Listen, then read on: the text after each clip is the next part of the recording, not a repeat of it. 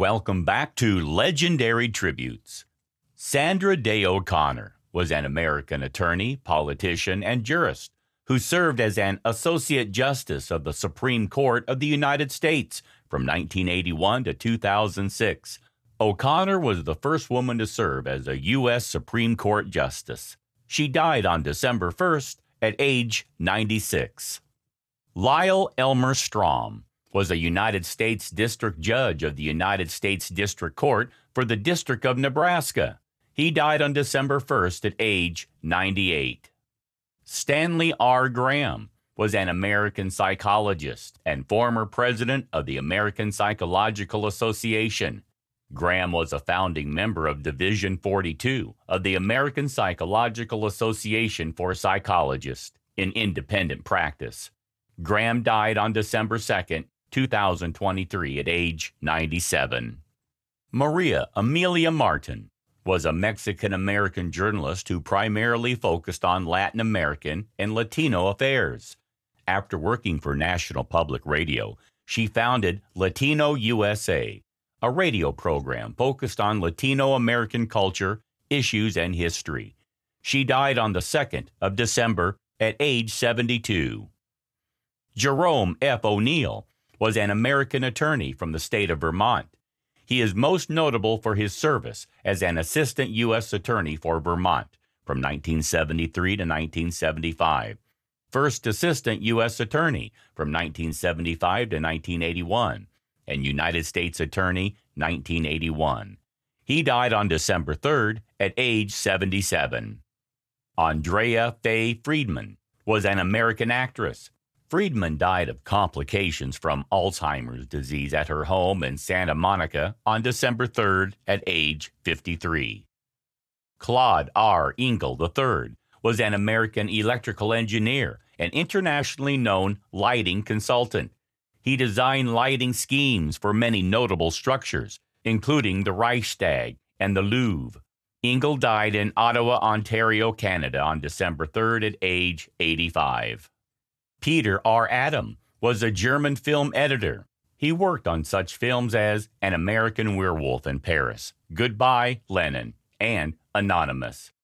Adam was one of the first to use digital editing tools. He won the Deutsche Filmpreis for editing in 1998 for his work on Comedian Harmonists. He died on December 4th at age 66. Edgar Smith Woolard Jr. was an American businessman he was chairman and chief executive officer for DuPont from 1989 to 1995. Woolard was a member of the National Academy of Engineering and the American Philosophical Society. In 1988, he received the Distinguished Engineering Alumnus Award recipient from his alma mater, NCSU.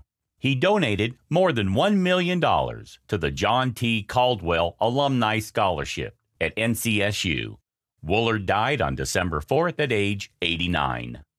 James L. Easton was an American businessman, archer, and philanthropist. He served as the chairman, chief executive officer, and president of BRG Sports. He was the president of the World Archery Federation from 1989 to 2005, and he was a member of the International Olympic Committee from 1994. He died on December 4th at age 88. Norman Milton Lear was an American screenwriter and producer who produced and developed over 100 shows.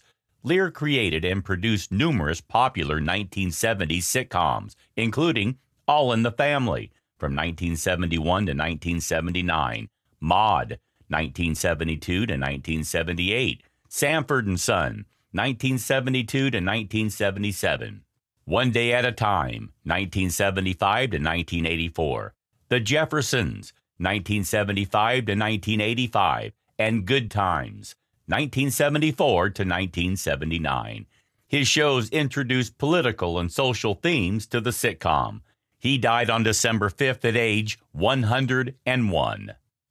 Ralph Cirella was paid by Howard TV to be Howard Stern's personal stylist, a job he previously held for Stern's E! show. Cirella died on the 5th of December at age 58. David Thomas Wehrmeister was an American Major League Baseball pitcher, Wehrmeister pitched parts of six seasons in the majors from 1976 to 1985, never pitching in more than 30 games, Wehrmeister died in Walnut Creek, California on December 6th at age 71. Ellen Virginia Holly was an American actress. Beginning her career on stage in the late 1950s, Holly was perhaps best known for her role as Carla Gray Hall on the ABC soap opera One Life to Live from 1968 to 1980 and 1983 to 1985. Holly is noted as the first black American to appear on daytime television in a leading role. Holly died at Calvary Hospital in the Bronx on December 6th at the age of 92. David Ellenson was an American rabbi and academic who was known as the leader of the Reform movement in Judaism. Ellenson was director of the Sussman Center for Israel Studies and visiting professor of Near Eastern and Judaic Studies at Brandeis University, and previously president of the Hebrew Union College Jewish Institute of Religion. Ellenson died on December 7th at age 76. Terry Baucom was an American bluegrass singer, banjo player, and band leader. He was nicknamed the Duke of Drive for his propelling banjo style. He led his band, the Dukes of Drive, and was a founding member of Boone Creek, Doyle Lawson and Quicksilver, and Third Time Out. Baucom suffered complications from a severe and rapid form of Alzheimer's, causing his death on December 7th. Terry died at age 71. That's a wrap for today. Don't forget to smash the thumbs up, share, and subscribe to the channel to see our latest content.